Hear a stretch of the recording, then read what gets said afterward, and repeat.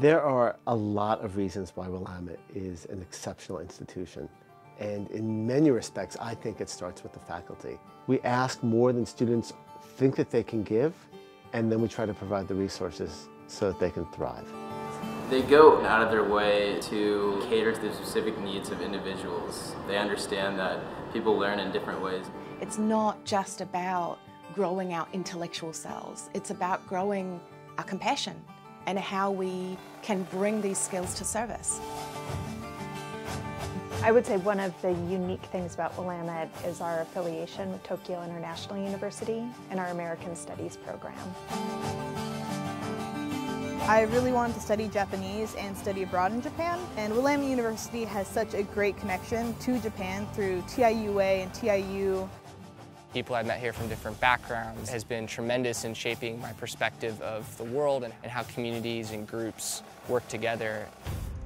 Willamette University has greater proximity to the state capital than any other school in the country. Willamette has an internship class where you get credit for interning, so the time you're spending in the capital also counts. My first interactions with the capital were with Causa Oregon, Oregon's immigrants' rights organization. I was just at the bill signing for tuition equity bill that would allow undocumented students to have access to higher education. Good job, you guys. There are probably at any given time at least a couple of hundred Willamette students and graduates in the capital.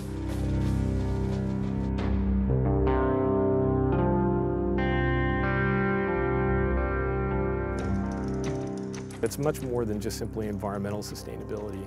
It's about cultural sustainability and social sustainability, and that you can't be environmentally sustainable unless you're also socially sustainable, and that you're thinking about questions of social justice. We have to deliver on the promise of creating a just, green, healthy, fair society. A number of our students choose to do a double degree. For students who know they want to be an attorney and are doing well as undergraduates, they can do the BA and the JD in six years instead of seven.